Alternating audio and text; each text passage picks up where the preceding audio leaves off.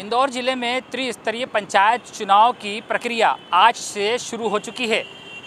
इंदौर ज़िले की बात करें तो तकरीबन सोमवार को जिला पंचायत पद के लिए सत्रह पदों के लिए दो ही नामांकन फॉर्म यहाँ पर जारी हुए हैं। तकरीबन दो फॉर्म के साथ साथ जनपद सदस्य के लिए लगभग सत्रह फॉर्म जारी हो चुके हैं।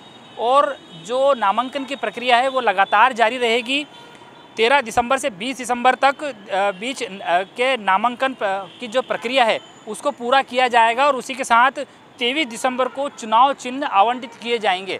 आज बात करें इंदौर ज़िले के प्रशासन की तो यहाँ पर जो व्यवस्थाएँ रखी थी, वो काफ़ी अच्छी व्यवस्थाएँ थी और जो यहाँ पर फॉर्म लेने आने वाले लोग थे, उनमें काफ़ी कम लोग इंदौर का प्रशासनिक संकुल में पहुँचे थे।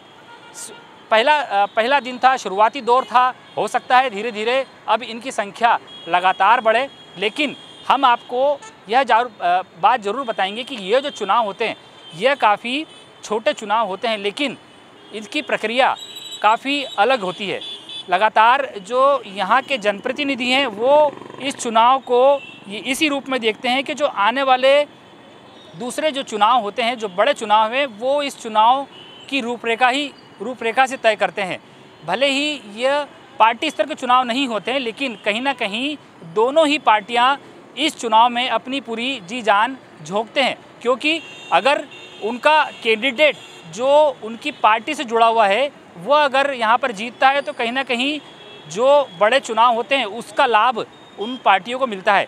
हालाँकि कहीं ना कहीं लगातार दोनों ही पार्टी के लोग यहाँ पर इस चुनाव को लेके पूरी तैयारी कर चुके हैं। सभी प्रकार से अपनी पूरी ताकत यहाँ पर कार्यकर्ताओं की झोंक चुके हैं और अब सीधे सीधे यह जो युद्ध है, पंचायत चुनाव की जो लड़ाई है, वह अब शुरू हो चुकी है। दोनों ही पार्टियों के नेता, कार्यकर्ता पूरी ताकत से लगे हुए हैं। वहीं जिला प्रशासन की बात करें तो जिला प्रशासन ने भी पंचायत चुनाव की पूरी तैयारी कर ली है।